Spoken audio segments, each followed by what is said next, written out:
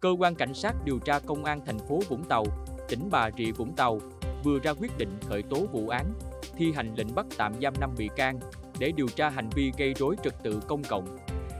5 bị can gồm Võ Dương Bảo Hưng, 21 tuổi, Ngô Thành Tính, 22 tuổi, Lê Thành Tiến, 23 tuổi, Lê Thành Đạt, 20 tuổi, cùng trú thị xã Bến Cát, tỉnh Bình Dương, Nguyễn Hoàng Thành, 24 tuổi, trú thành phố Biên Hòa, tỉnh Đồng Nai. Điều tra ban đầu, khoảng 16 giờ ngày 25 tháng 3, năm thanh niên trên cùng hai người khác lái ba ô tô từ thị xã Bến Cát và thành phố Biên Hòa xuống thành phố Vũng Tàu du lịch. Khuya cùng ngày, nhóm điều khiển xe về nhà, nhưng đến khu vực đường 2 tháng 9, phường 11, thành phố Vũng Tàu thì dừng ô tô, lên ý tưởng quay các clip đua xe, biểu diễn xe, đăng lên mạng xã hội. Hiện lực lượng chức năng tiếp tục xác minh hai đối tượng đi cùng nhóm đối tượng để xử lý theo quy định.